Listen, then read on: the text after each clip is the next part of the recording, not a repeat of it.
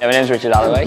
Um, here setting up my installation for the House of Blah Blah exhibition on this Thursday, 6th of November, um, which is the preview night, which is going to be brilliant.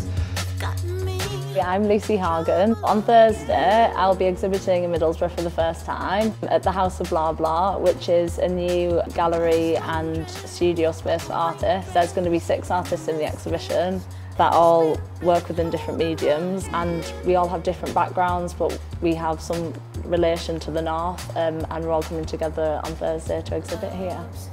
My name's Bobby, I'm an artist and I'm getting ready for our new exhibition, White Rubbish. The reason we started the House of Blah Blah was because current provisions in the town were aimed more at um, established artists or mid-career artists and we wanted a place where we could show local artists alongside more established artists and, and get those artists working together and responding to each other and building a creative dialogue.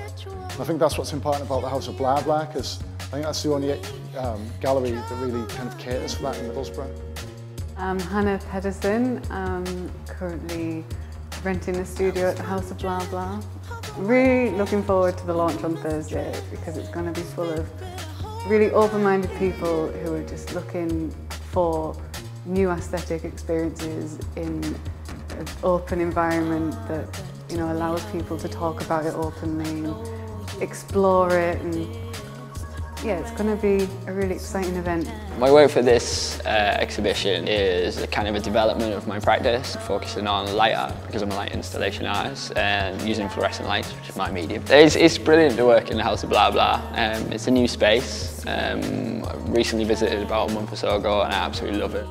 The work that I've put into this exhibition is an installation. Um, I've brought, well I've bought turf um, that I've decided to install within the space. Um, I kind of wanted to bring a natural material outside and bring it into a building like this. I was quite excited by the architecture within the space and um, kind of the life that's going on around here. It's kind of, it's quite industrial. I'm exhibiting um, it's, it's a new piece in three stages. Um, it's paint on material, but I still see it kind of more as installation.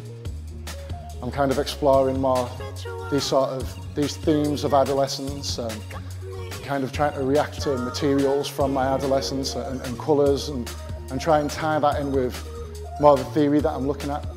I think it's I think it's important that people, kind of the public, come down um, and see what's going on here. It is a completely different um, gallery space to MIMA, it's a different institution um, and it feels very special to be a part of it at the moment because it is the first year of um, the House of Blah Blah being open up.